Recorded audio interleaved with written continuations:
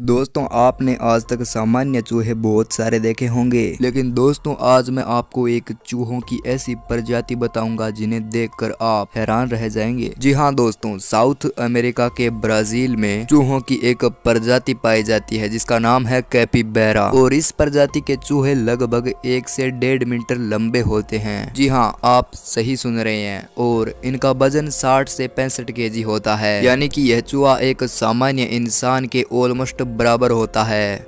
दोस्तों, आपके सामने ऐसा चूहा आ जाए तो आप क्या करोगे? कमेंट सेक्शन में ज़रूर बताइएगा। और हाँ मेरे चैनल को सब्सक्राइब कर देना, क्योंकि मैं ऐसे फैक्ट वीडियो डालता रहता हूँ। और वीडियो को कर देना लाइक, क्योंकि वीडियो बनाने में बहुत ज़्यादा मेहनत लगती है। तो मिलती है नेक्स्ट वीडियो में, तब तक के लिए बाय बाय। और हाँ घंटी का आइकन ज़रूर प्रेस कर देना, क्योंकि मैं ऐसे ही फैक्ट वीडियो डालता रहता हूँ, आपको नोटिफिकेशन मिलेगी सबसे पहले। तो मिलते हैं नेक्स्ट में, तब तक के लिए बाय बाय।